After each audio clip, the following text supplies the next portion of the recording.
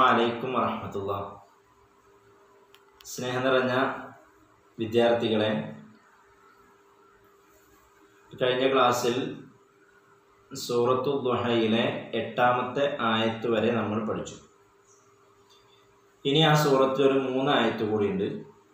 അതാണ് ഇന്ന് നമ്മൾ മനഃപ്പാടമാക്കുന്നത് നിങ്ങൾ ഉസ്താദിനെ ഓതിക്കൊടുത്ത സൂറത്തു ദുഹയിലെ ആദ്യ ആയത്ത് മുതൽ നമുക്ക് ഓതി മനഃപ്പാടം പഠിക്കാം ഓക്കെ أعوذ بالله من الشيطان الرجيم بسم الله الرحمن الرحيم والضحى والليل إذا سجى ما ودعك ربك وما قلى وللآخرة خير لك من الأولى. ولسوف يعطيك ربك فترضى. ألم يجدك يتيما فآوى. ووجدك ضالا فهدى. ووجدك عائلا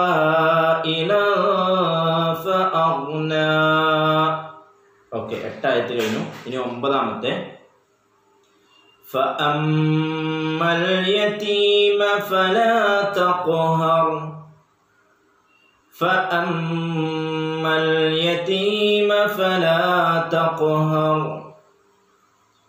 فأما اليتيم فلا تقهر فأما اليتيم فلا تقهر تق قافعن تقهر فأما اليتيم فلا تقهر فأما اليتيم فلا تقهر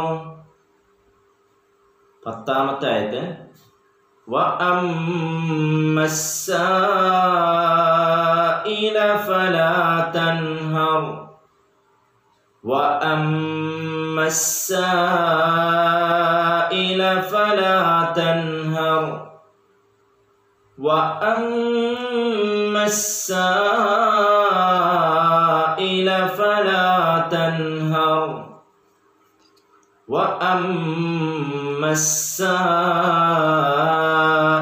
فلا تنهر ഒമ്പതാമത്തെ ആയത്തിന്റെ തുടക്കം ഫ അമ്മൽ ഫ എന്നാണ് ഫ അമ്മൽ യതീമ ഫലാ തഖ്ഹർ പത്താമത്തെ ആയത്തിന്റെ തുടക്കം വ അമ്മ വ അമ്മ അപ്പൊ ഒമ്പതാമത്തെ ആദ്യത്തേത് ഫ രണ്ടാമത്തേത് വ ഇനി ലാസ്റ്റ് ആയത് വ അമ്മ ബിനിഅ്മതി റബ്ബിക ഫഹദ്ദിസ് وأما بنعمة ربك فحدث وأما بنعمة ربك فحدث وأما بنعمة ربك فحدث അപ്പോൾ ഒമ്പത് പത്ത് പതിനൊന്ന് ആയത്തിനെ തുടക്കം നോക്കുക ഫ അമ്മൽ യതീമ